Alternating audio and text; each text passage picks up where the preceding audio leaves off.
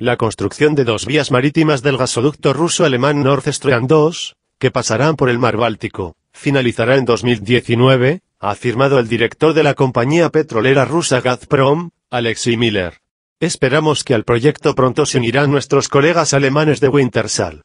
Es difícil imaginar una mejor demostración de la fiabilidad y la lealtad de nuestra estrategia en la dirección europea, dijo Miller citado por Interfax. Según el director de Gazprom, los socios alemanes tienen la intención de utilizar la tecnología rusa desarrollada en el marco del proyecto Nord Stream 2. En un futuro próximo crearemos una empresa conjunta para el proyecto, agregó. La construcción de dos nuevas vías de gasoducto con capacidad sería de 55 mil millones de metros cúbicos anuales puede suponer que la compañía rusa duplique el suministro directo de gas a Europa.